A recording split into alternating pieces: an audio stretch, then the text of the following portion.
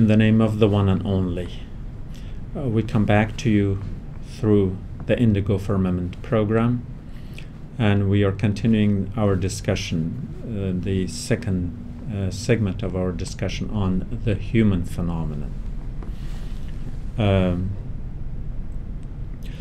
in in the previous uh, segment, we discussed um, that in the context of um, God human relationship, uh, it is important to define the two sides of the equation.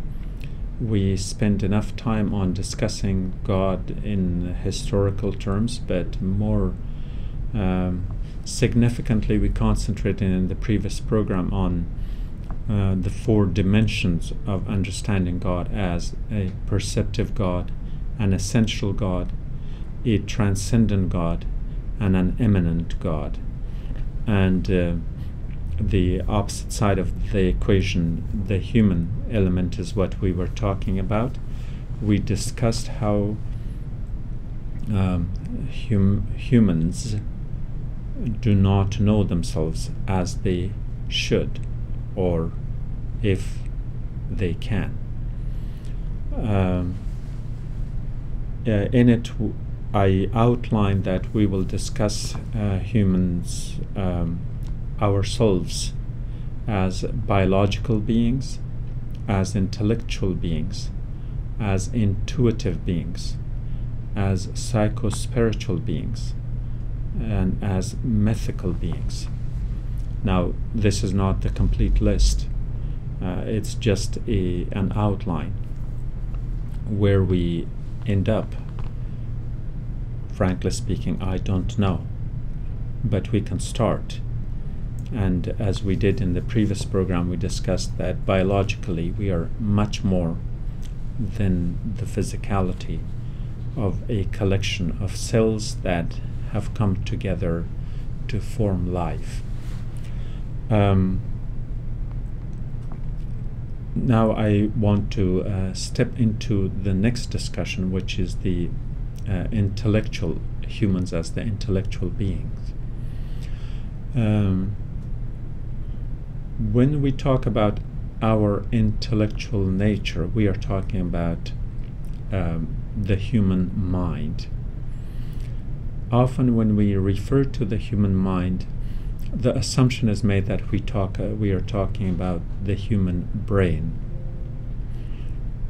When we are talking about the human brain, the assumption is made that then everything as far as our intellectual being comes from the brain. In other words even our intellectual intellectualism or more correctly even our intellectual nature is reduced to the physicality of the human brain which need not be so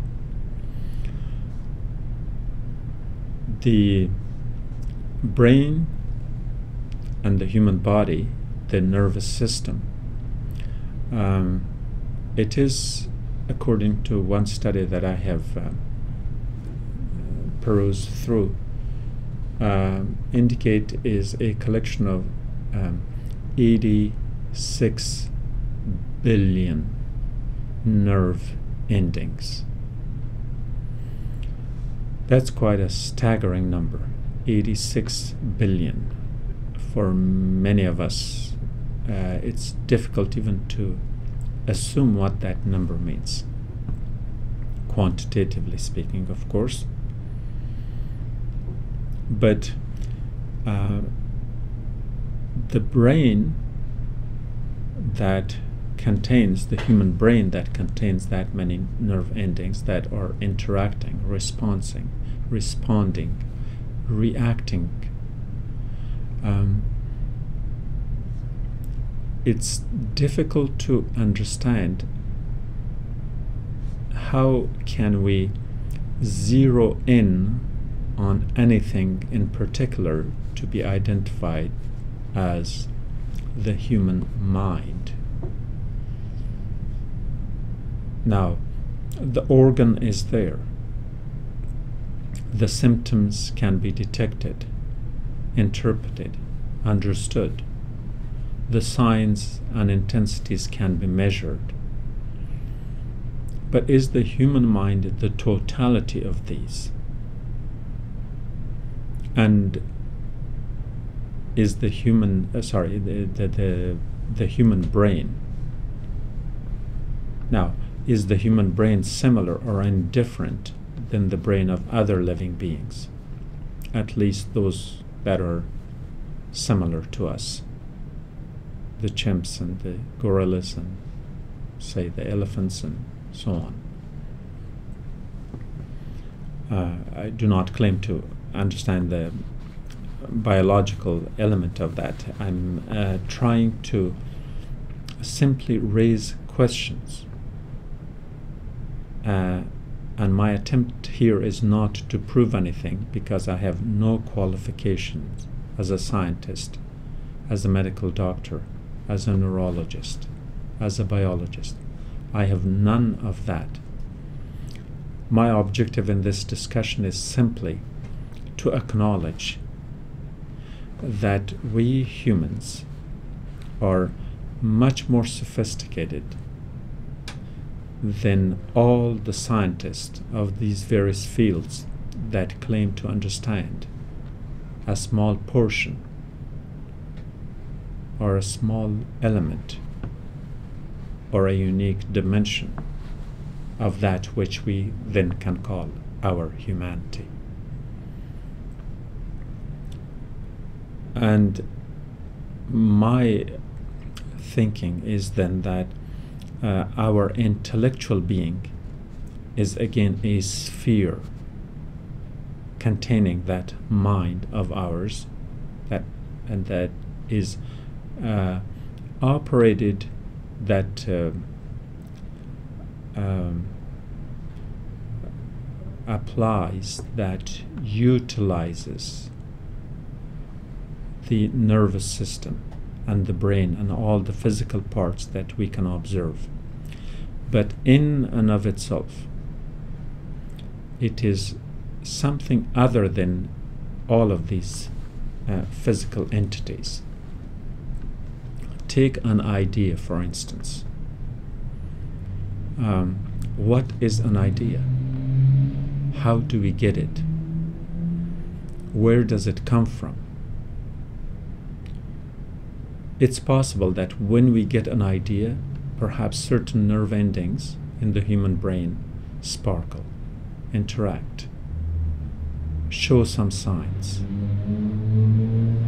Uh, say that idea might be um, emotional reaction to certain things in, in our environment and how emotionally we respond to something can be measured modern sciences has advanced that far that they can be me- the intensity of it, of it can be measured. But is the reaction is the response is the intensity of the nerve endings in our brain defining the idea as to what it is I don't think so. I'm thinking that the idea itself is beyond that. The brain is not the mind, the mind is not the brain. Yes, hunger is not the stomach. Taste is not the tongue. In most of these cases, we reduce these phenomena into just the physical element with which we can identify it. Yeah, you can say hunger is a feeling. How about getting satiated when you are full,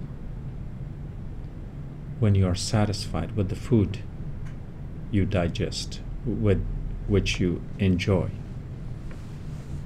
Your palates, your taste buds. There's a lot more going on there. And in every aspect, we reduce all of this to the physical part of our body where it is detected and measured.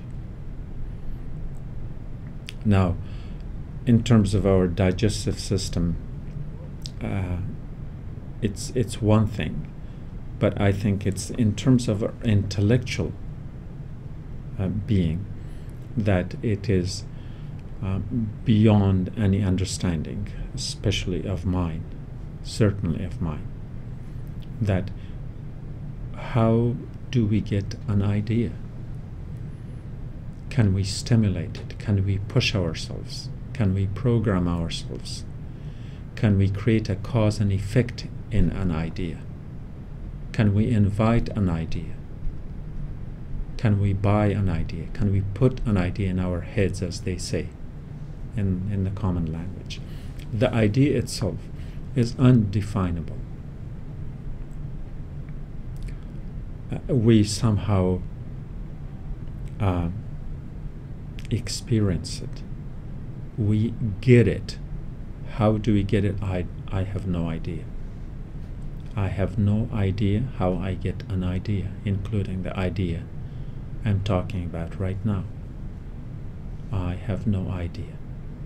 I don't know if science has an idea. But they may have ways to measure through certain parts of our physical being, through reactions, the measurement of the intensities, and so on and so forth. And for that matter, even the response. So I get an idea. And I sh- share that idea with someone else by communicating. Yes, look at the language part of it. We produce certain sounds, we make noises.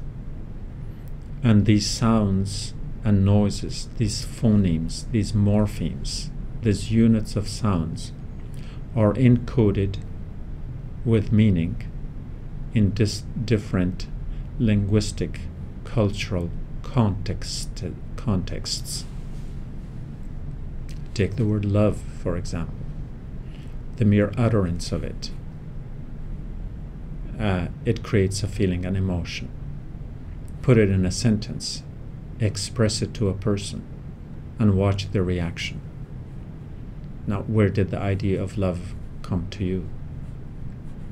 Is it simply a uh, a power of at being attracted? Or is there more to it? And if so, once the idea is expressed to another, watch that interaction. Again, measure it by the most advanced scientific equipment we have. Measuring the intensity and the, say, sparks of the nerve endings in the brain of the person who hears the word or the statement of I love you, for example. And then the first person who says it to the second person and watches the reaction in the second person rejection acceptance, smile, anger, frowning, all these body languages that appears on the face of the person who was, for lack of a better term, subjected to the statement I love you, then creates a reaction in the first person. Whether this idea that occurred to the first person was received with acceptance by the second person or received with rejection. And how ought either one of those, acceptance or rejection, of that statement of affection then affects the person who initiated that whole thought, that whole idea, that whole notion. Therefore, if you look at each individual beings with all their estimated 86 billion uh, nerve endings. That is one thing to quantify it. But none of that answers us to where that idea came from. And of course, as this transmits to the other person, that simple sentence, I love you, or its equivalent in any other language, has the cultural coloring that not every culture people express the idea of intimacy and attraction and love and affection in the same way. In some cultures, certain words might be taboo, in others, they might be more acceptable. In some cultures, they may have just one or two words for love, but in others, there might be many words. And each word might express a different sorts of intimacy familial, parental, romantic, and so on and so forth. So, therefore, the encoding of the cultural concepts into words themselves may create different degrees of intimacy and different de- degrees of um, intensity, brainwave, if we can call it that. May not be the right term.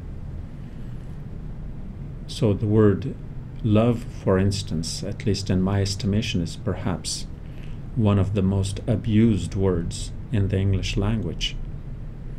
Abused in the sense that it, it is thrown about for everything you love a hamburger, you love a person, you love a dog, and you love a certain color, etc., etc. And because of that, then the intensity of it may not be the same as, say, in the Arabic or in the uh, Dari, Farsi, or Pashto language, in which we have more words um, that are tailored to specific expressions of more specified desires in attraction to the other, and each may not produce the same result. And there will be variance that can be measured again to go back to the argument at the neuron endings. So, to go back to the part of the argument we started. Who are we intellectually? How do we get ideas? How do we interact? How do we measure them? And is brain, the human brain, really the center of all of our intellectual being? Or is our intellectual being beyond that. Our intellectual being is it in the physical, in the brain, or is it a field of energy that is contained in, say, our body? Go beyond that. Ought we claim an idea to be contained in our physicality? Are we contained in our physical body? If we are not our heart, if we are not our brain, and if we are, in a sense, a field of energy, does this field of energy extend beyond our skin? Is our skin the boundary of our beingness? Or do we operate and exist beyond our skin too? Because once you accept the fact that we are not just physical, then our physicality need not be the measure or the limitation of our being. Then the next uh, uh, part would be the intuitive self. Now, in the intellectual, we use our power of reason, our rationality. We have created a science, logic. And logic looks for pattern. In logic, we do not look for exception. It is through strict and straight patterns of occurrences, of sequencing and consequencing, that we can understand things.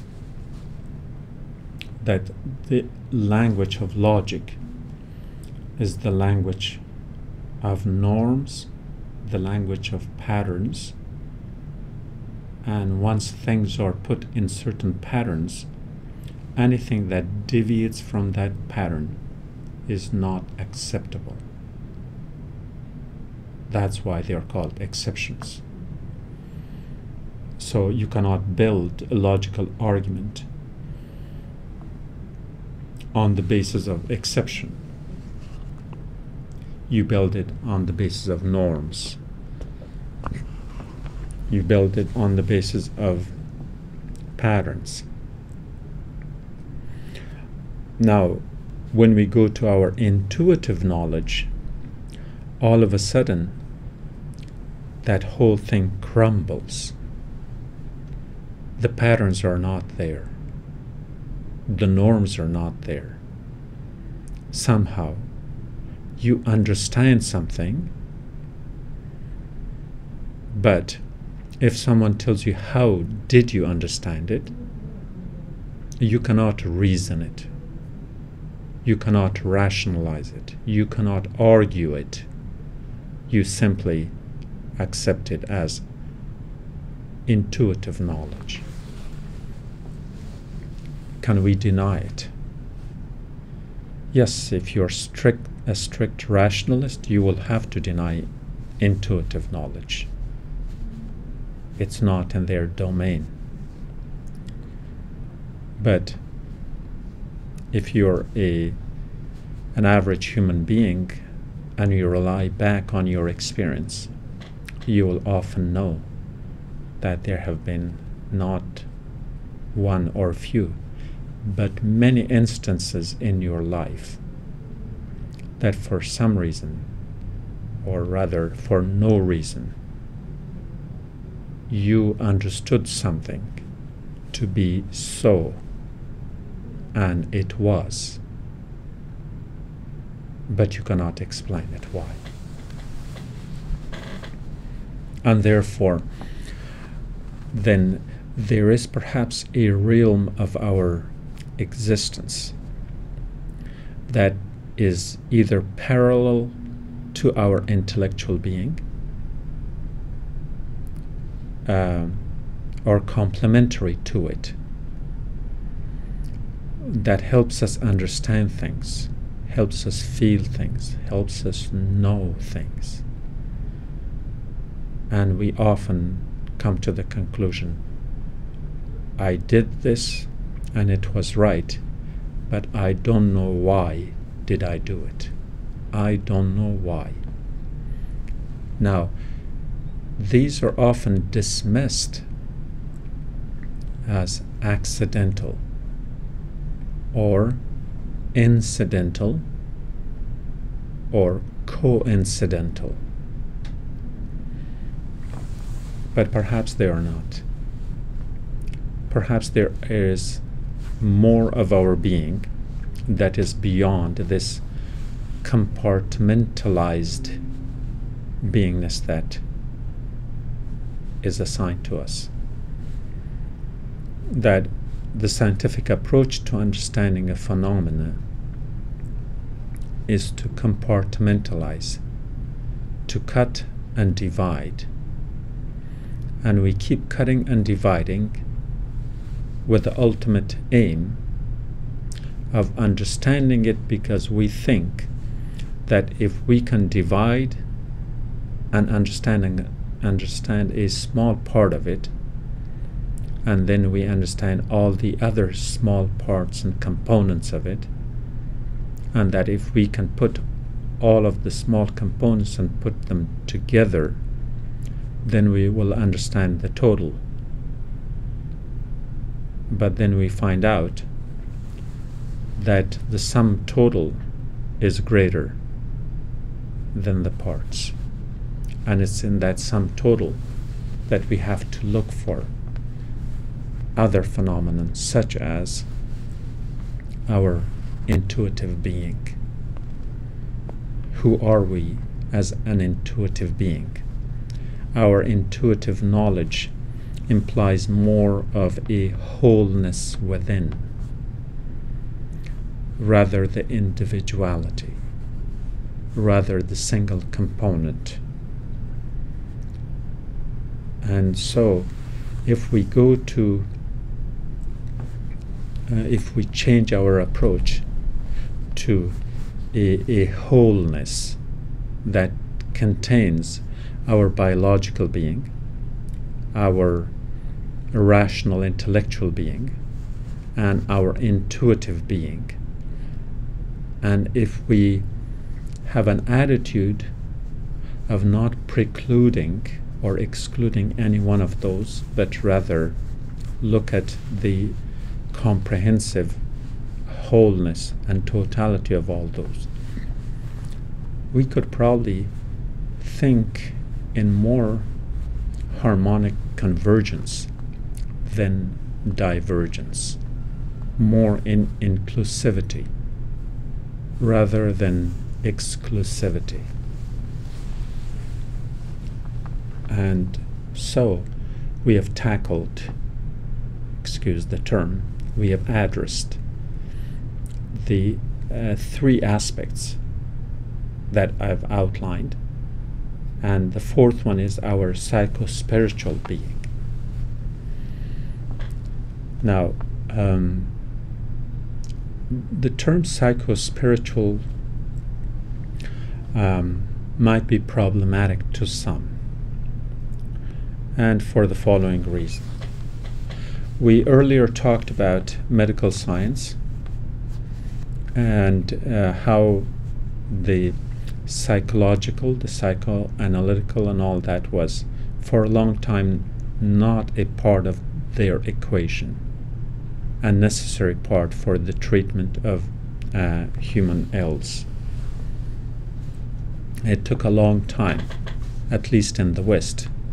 Uh, of course, in the Muslim East, uh, they were always part and parcel of, of the whole treatment. But in, in uh, the secularized West, it took a long time for, um, say, uh, Sigmund Freud to establish, uh, say, psychoanalysis as a part of the treatment of the human ills. Um, when we use the word uh, psychic, for example, the word itself implies total irrationality. And if we use the word psycho as a hyphenated or prefix to the word spiritual, then we go to the word spiritual. That too has a problem. That again, in the secular Western world, um, the term spiritual that etymologically comes from spirit. And the spirit is not physical. And as our sciences concentrated more and more on the physical we ended up accepting the monopoly of science at the expense and denial of anything and everything non physical among those would be spirit. And no, I'm not talking about the ghosts of Christmas and the ghosts of uh, people who have died and things of that nature. That might have its own place, but not uh, in this program.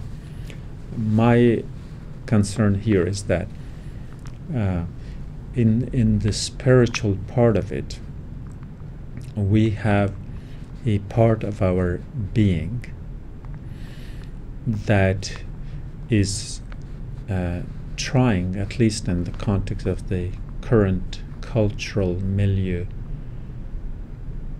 that we are more than our physical being and that we are more than our rational and biological and intuitive, that there's another element, another dimension to our being.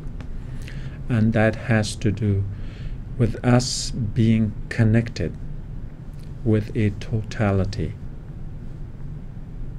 a cosmic totality, um, at a different level.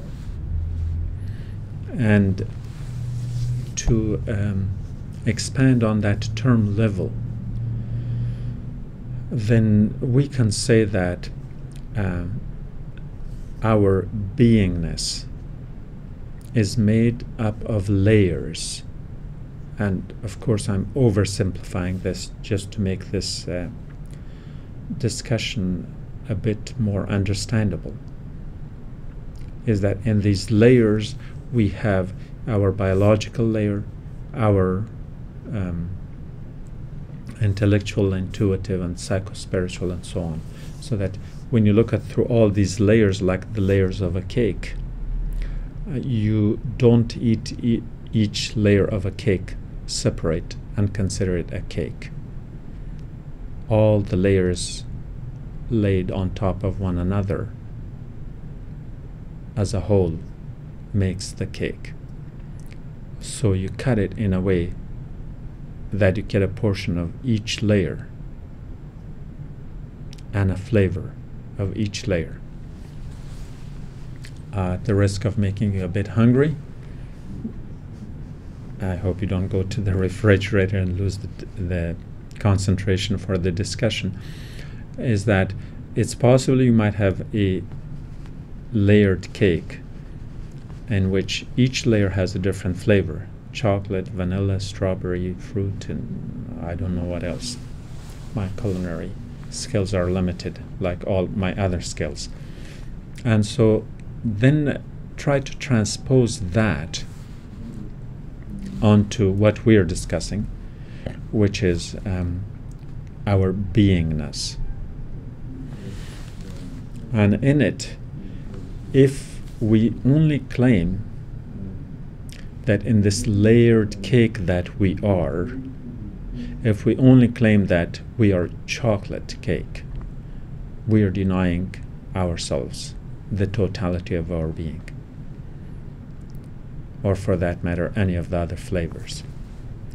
I hope I don't raise your prejudices here uh, for your taste buds, but um, the idea is that that in our spi spiritual layer, we definitely go beyond our physical. As I, I was saying earlier, in the biological, we are probably limited to the confines of that which is contained within our skill.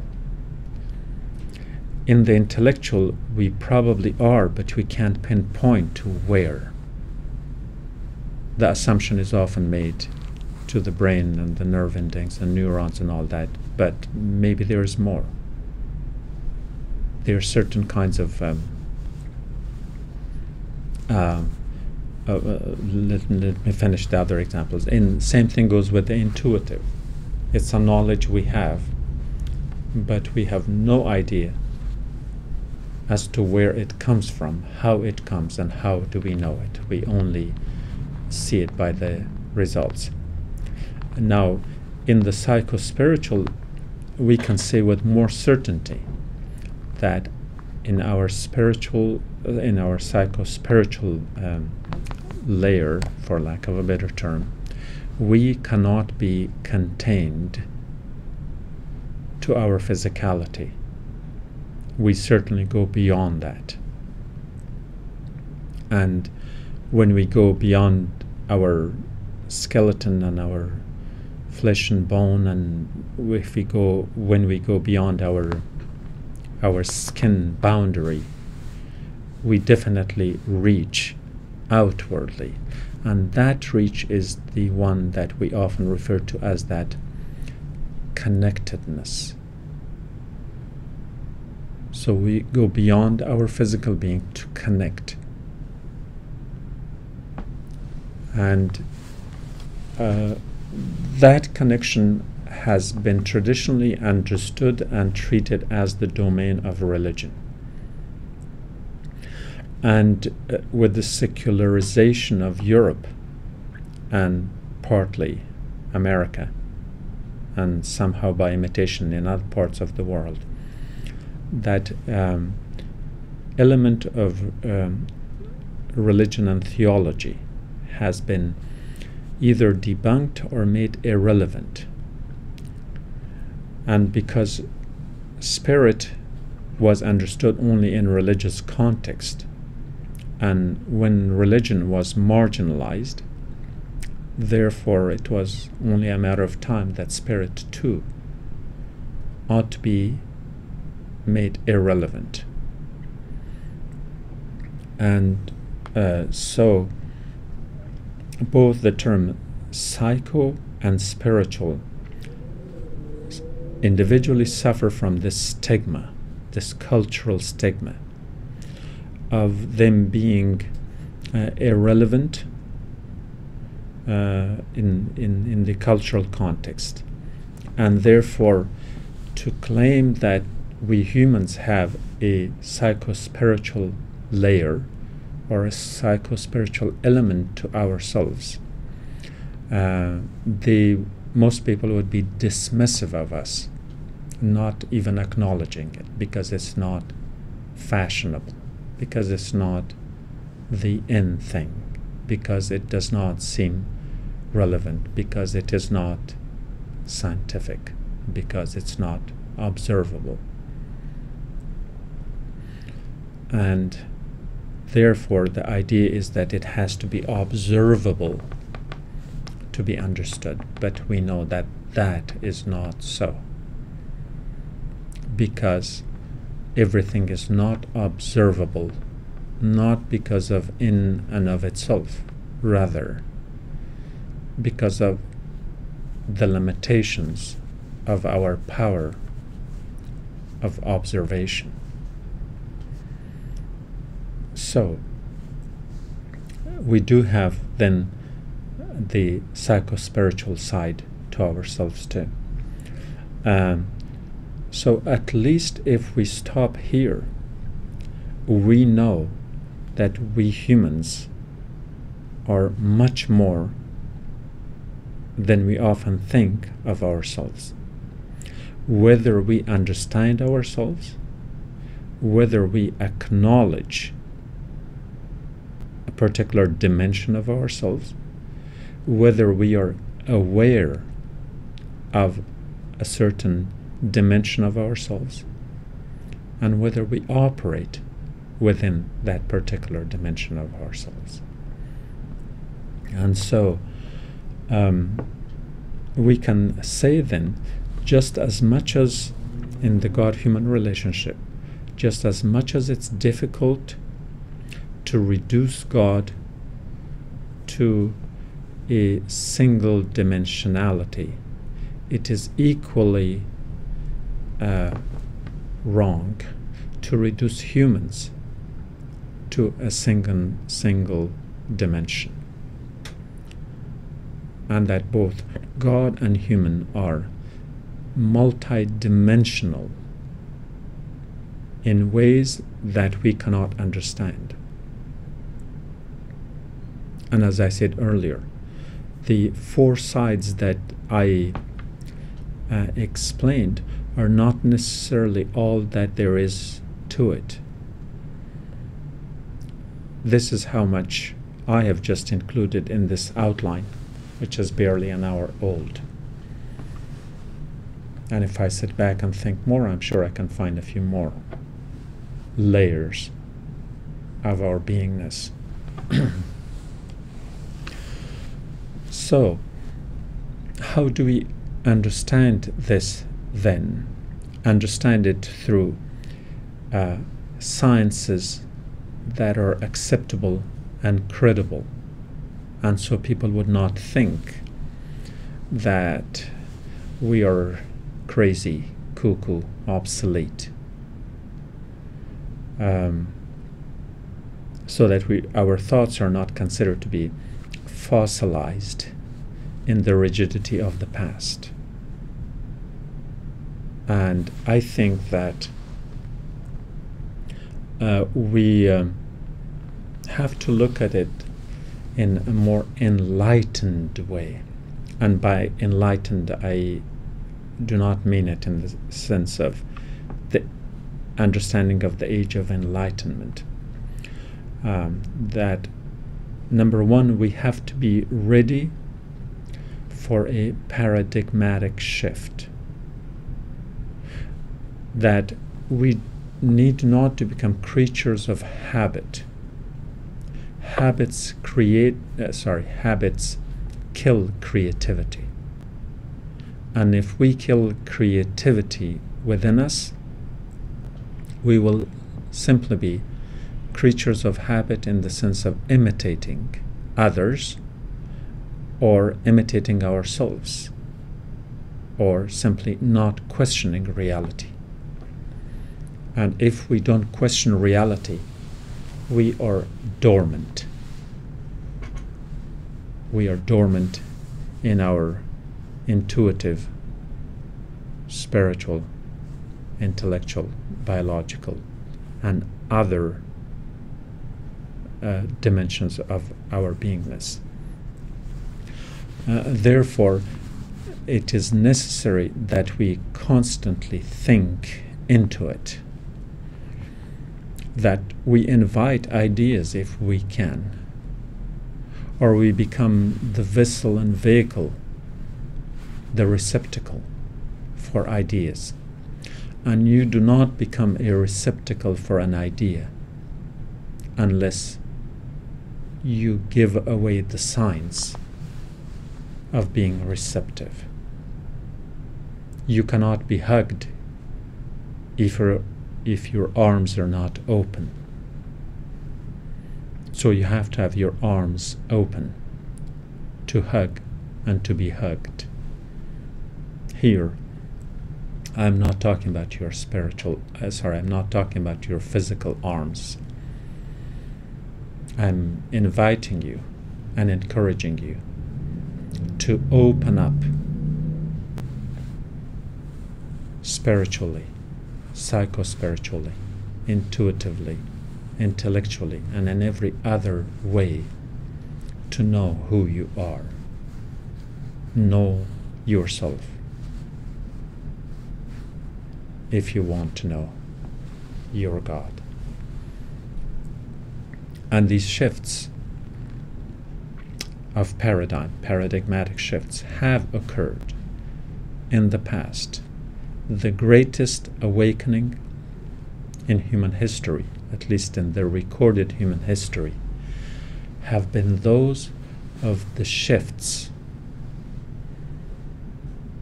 180 degrees or more or less when people went one way and then realized that they were wrong. In other words, their realization of you being wrong is a first step we often don't assume that. We have protective egos.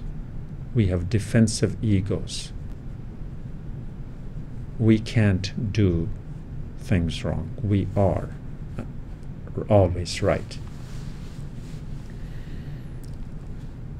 And in the context of how this had occurred, is that the the yearning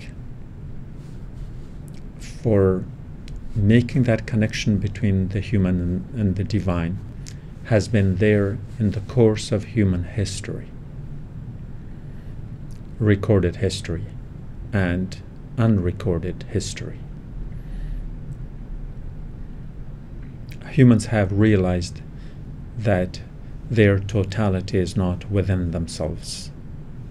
We discussed that in the previous program, actually, in the previous two, three programs, uh, when we were discussing the phenomenon of God. What I want to draw your attention to in this segment is that for as long as we know humanity through its cultures, through its history, through its traditions, through its religions, through their philosophies, and so on, uh, the seeking and being sought relationship had always been there. The only problem is that that which was being sought was always culturally defined, and therefore it took a long time for humanity to universalize it.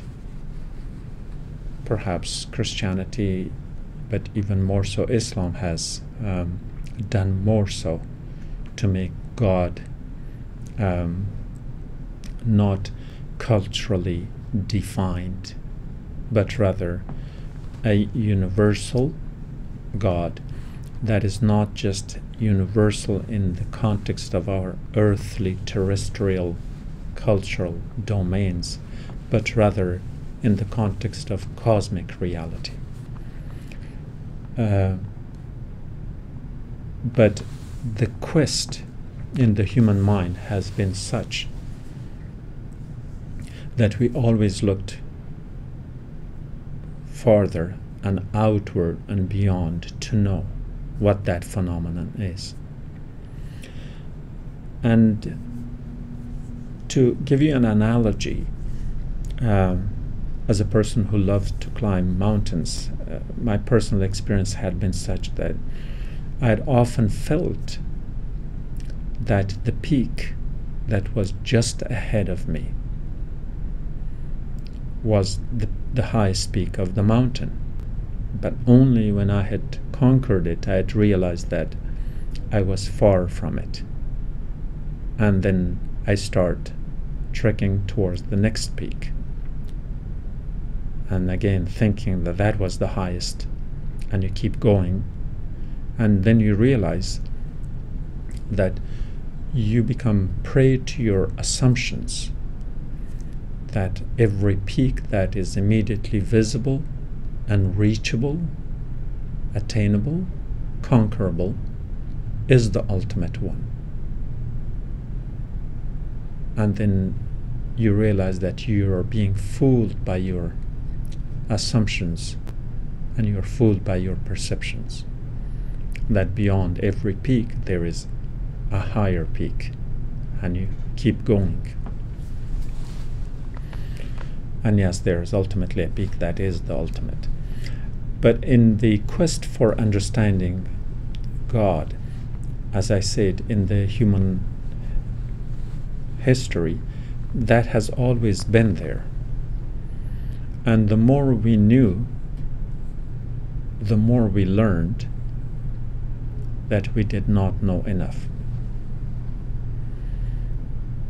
And just both through the analogy of climbing the mountain and the example I'm sharing with you in the quest for God. It gets to a point where you feel frustrated because you keep looking for something and you form an idea. But when you reach it, you find yourself being wrong. That's not encouraging, but frustrating. And therefore, the conclusion among the wisest in our human history had been such that the more I know, the more I know that I do not know or the more I know, the more there is to know.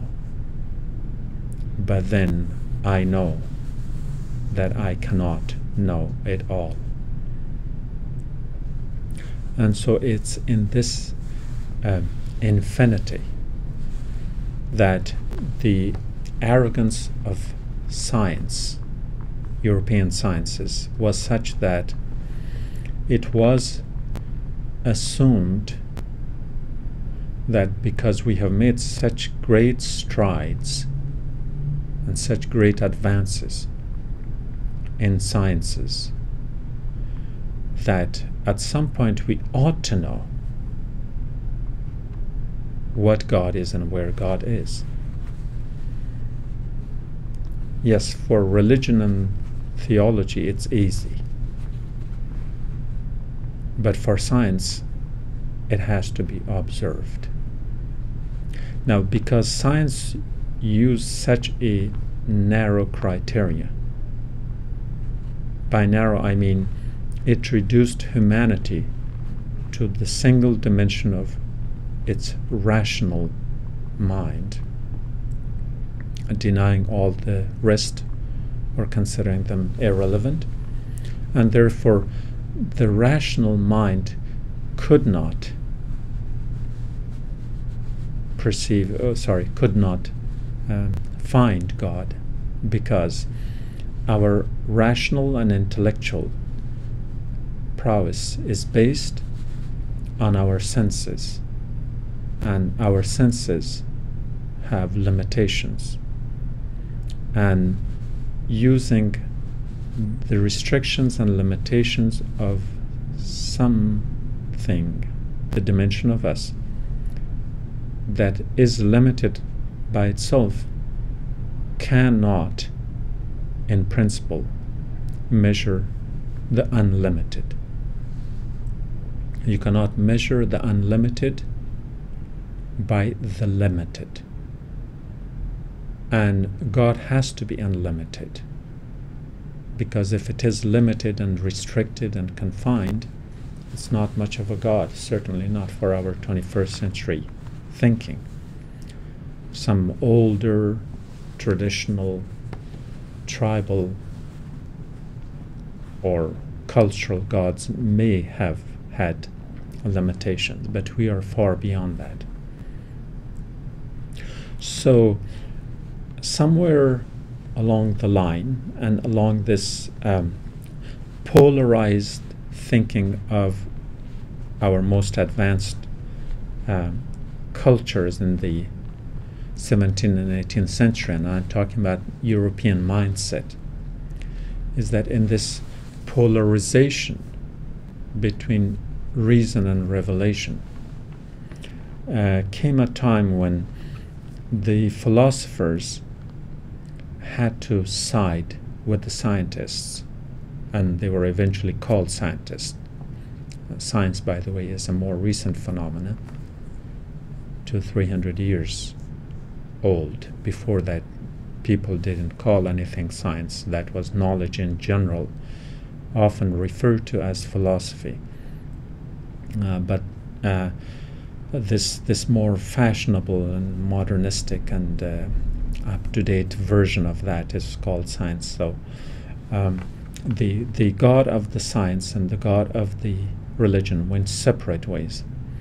Now, instead of the scientific community in in in the West accepting the fact that yes, there is a God of the theologians but there's also a God of the philosophers, as I referred to earlier, that there is the perceptive God and then there is the essential God, and that they ought to seek the essential God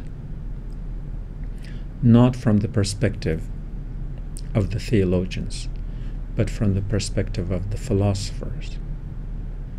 However, because the word God was commonly used for both, and because religion was rejected because theocracies were rejected. Along with it, theology was also debunked or marginalized at least, and therefore it was no longer fashionable to talk about gods, let alone seeking them. So the easy route was taken that yes, if you continuously expanded your knowledge, trying to know the unknowable, trying to know more, and then realize that the more you knew, the more you realized there was more to know. Um, and this was kind of uh, frustrating, endless um, uh, seeking. Um, and that in that frustration and that resentment and that polarization, the scientific community in Europe found an easy way out, and that was to deny God altogether, to make God all irrelevant. And therefore, it gives them more a sense of achievement that so long as there is no God to seek, then everything you seek is something that can be observed. Since God was, could not be observed, could not be seen, and therefore just deny God any existence, and that denial will help you. Then it, you are no longer in a way where the farther you go, they, the more they, they move away the milestones from you. The more they, they, uh, they move away the goalpost. And so instead of frustration, then you get a sense of achievement. And in this uh, achievement, then, once God is denied, then you have this feeling of satisfaction. Then you know, then you are the master of yourself. Then God has not made you, but rather you, in essence, have made yourself, regardless of how much you really know yourself. But while the the general trend and the more acceptable way of thinking this out had been one uh, where God had become totally irrelevant in a secularized thinking, that we know that the best of our scientists have not denied it. The average scientist, yes, because it's fashionable. Um, in any scientific community, in any academic circle, uh, accepting God or believing in God, if it's not totally a risky uh, uh, proposition, uh, it certainly does not help. And so, while the average uh, scientist have denied it. The highest ranking among them could not. Uh, the genius of geniuses in the 20th century, Albert Einstein, did not deny God. The uh, super genius of the 21st century, um, uh, Hawking's, does not deny God. In other words,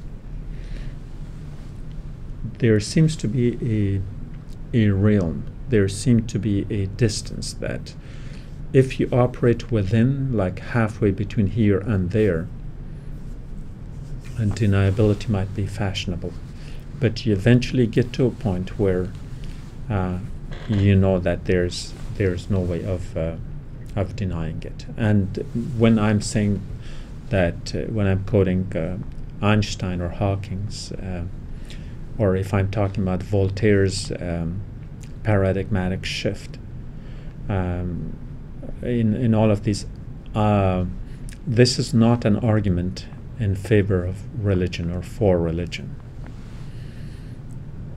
Religion and theology are different things. Uh, we are not talking about religion. We are talking about uh, God as a phenomenon.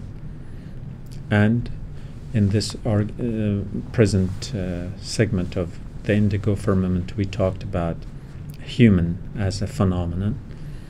So both this phenomenolo- phenomenological approach to a limited understanding of God and to a limited understanding of the human, we can put that equation back together that the God human relationship can be understood better if we understand the two components better than we have culturally, historically, religiously, philosophically, and otherwise.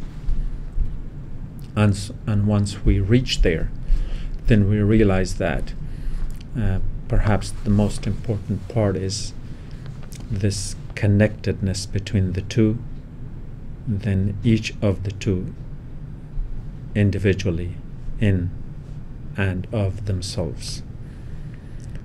So, the relationship between God and human cannot be understood with a denial of either, but rather with an understanding of both, and better yet, with a better, better understanding of both the sacred and the profane, and the human and the divine.